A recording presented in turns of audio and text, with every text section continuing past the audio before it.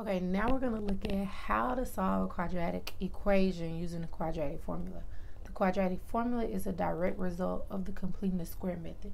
Someone took the completing the square method and used it to solve the quadratic, the general form of the quadratic equation with the A's, the B's, and the C's. They didn't take it out. They didn't put any numbers in there. They went through each step with A's, B's, and C's, and the result was the quadratic formula.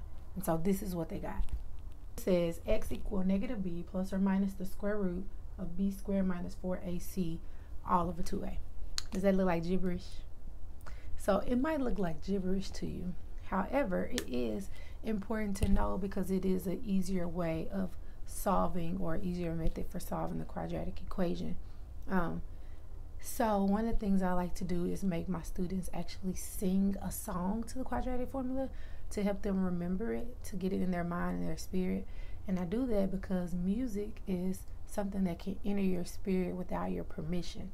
So, for instance, have you ever found yourself singing lyrics to a song that you never sat down and studied?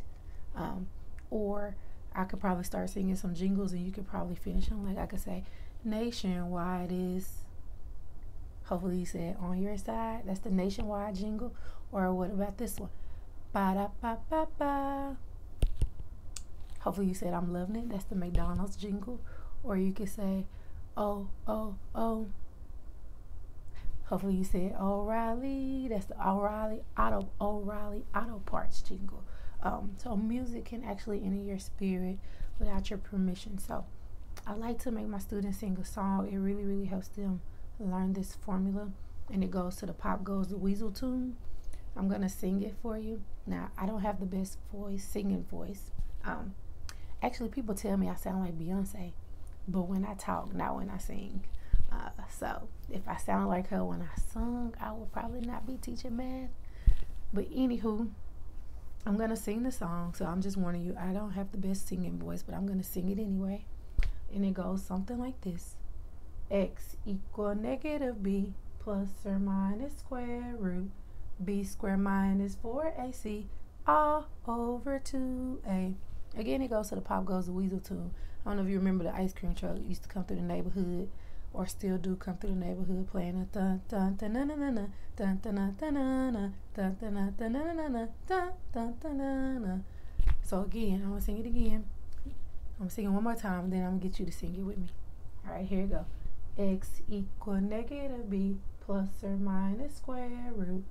b squared minus 4ac all over 2a. All right, let's do it one more time. I want you to sing it with me this time. Here we go. Five, six, seven, eight. X equal negative b plus or minus square root b squared minus 4ac all over 2a. Okay, so again, if you can sing it, sing it over and over, it'll help you remember it. Trust me, it will. So in our first example, we're going to use the quadratic formula to solve x squared minus 3x minus 7 equals 0. Um, once you know the formula, the rest is just plugging in and simplifying. So the biggest part is knowing the formula. And so that's why I like to sing it. And because I cannot write as fast as I can sing, I have to actually chop and screw the song. So I live in Houston, Texas, home of the chop and screw. If you don't know what that is, Google it. It's where they slow your music down and it sounds dragging. It might sound a little deeper. The voice of the singer might sound a little deeper than what it sounds in in real time. Um, so I like to chop and screw my quadratic formula so that I can actually write and sing it at the same time. You have to first identify your A, your B, and your C. So A in this case is 1. That's the number in front of the square term. B is negative 3. That's the number in front of the x term. And then C, which is your constant term, is negative 7.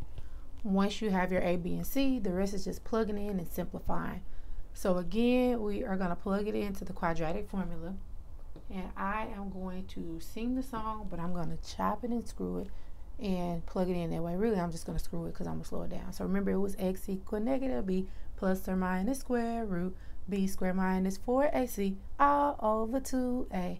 So I'm going to x equal negative b plus or minus square root b squared minus 4ac c all over 2a. I screwed it and I still ended up writing fast. But let's make sure we got everything plugged in right. We got B here, we have B here, A here, and C here, and then the rest is just a matter of simplifying. So we get X equal a negative and a negative becomes a positive. 3, negative 3 squared is 9. Negative 4 times 1 is negative 4. Negative 4 times negative 7 is a positive 28. 2 times 1 is 2. So we get x is equal to 3 plus or minus the square root of 37 all over 2. And so you can actually break that up. That's x equal to 3 over 2 plus or minus the square root of 37 over 2. 37 is a prime, so it cannot be broken up any further. So that's completely simplified. 3 half plus or minus the square root of 37 over 2. And you can actually break that up. That's x equal to 3 half plus the square root of 37 over 2 and x equal to 3 half minus the square root of 37 over 2. So again, it just depends on what platform you're using for your homework, whether you have to enter it in like this or separate it and enter it as two separate answers. But they're both the same and they're both sufficient. Um, and so that's solving using the quadratic formula. Let's try another one. Okay, example two, we're going to solve x times x minus 6 equal 3. Now, this is a quadratic equation. It doesn't look like one, but we can make it look one, look like one. So first we want to distribute this x. We're going to multiply x times x, which is x squared, and x times 6, which is minus 6x, and that equals 3. And now you want to get 0 on one side, so move the 3 over. Subtract 3. And even though I'm writing this underneath the 6x, I cannot combine it with the 6x because 6 has an x on it and 3 don't have an x on it. So this becomes x squared minus 6x minus 3 equal to 0. And so now it looks like, in, or now it's in the form of a quadratic equation. So you want to identify your a, which is 1, your B, which is negative 6, and your C, which is negative 3. Once you have your A, B, and C, the rest is just plugging it into the formula. And again, I'm going to screw my song so I can slow it down and plug in the A, B, and the C. So here we go.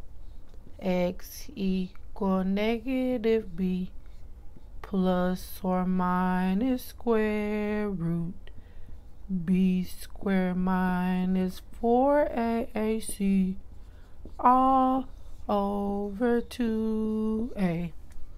So I have everything plugged in. Now it's just simplifying. So two negatives here make a positive. Negative 6 squared is 36. Negative 4 times 1 is negative 4 times a negative 3 is a positive 12. All over 2. So 36 and 12 underneath the square root becomes 48. So now the question is, can you rewrite the square root of 48? Um, can it be simplified? Can 48 or do 48 have a product of a perfect square inside of it? So if you think about it, 48 is, although it is 4 times 12, there's a bigger perfect square in there, 16. It's also 16 times 3. So this is the same as the square root of 16 times 3, which is the square root of 16 times the square root of 3 which is 4 square roots of 3. So the square root of 48 is 4 square roots of 3. So you could rewrite this as 6 plus or minus 4 square roots of 3 all over 2, which can be broken up if you separate the fraction. That's 6 over 2 plus or minus 4 over 2, 4 square roots of 3 over 2.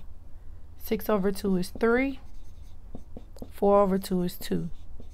And so you get your final answer as 3 plus or minus 2 square roots of 3. And again, it's two separate answers. So if you need to break it up, that's x equal 3 plus 2 square roots of 3. And x equal to 3 minus 2 square roots of 3. So it's either that answer or those two broken up. They're the same. So this is how you do it. You plug in the A to B and the C and the rest is simplifying. Okay, now you take a minute, pause the video, and you try this one. See if you can solve this equation. So try it and see if you get it right.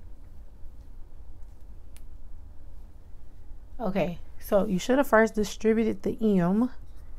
When you distribute the m here, you get m squared plus 10m equal negative 34. You need to get 0 on one side, so add 34 to both sides. And so you get m squared plus 10m plus 34 equal to 0. So now identify your A, your B, and your C. A is 1, B is 10, and C is 34.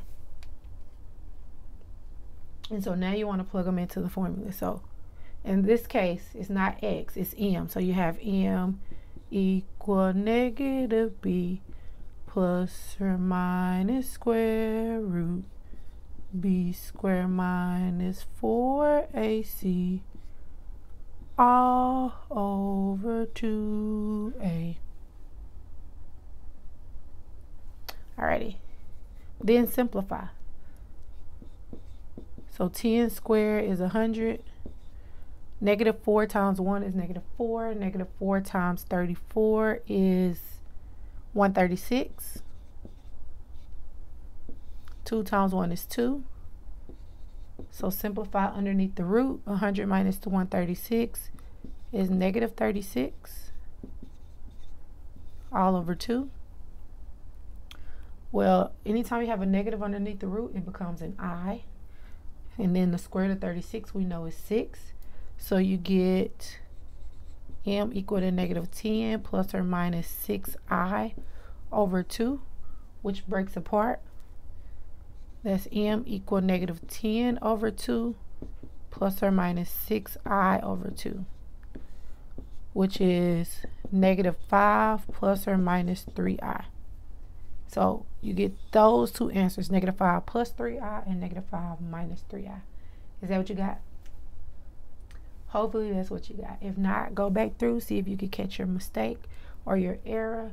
Um, because once you plug in, sometimes you may plug in the wrong uh, numbers for the letters as well. So make sure you plugged in 1 for A, 10 for B, and 34 for C.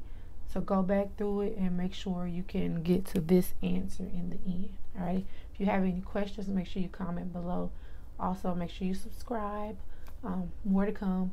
And until the next time, I will see you again.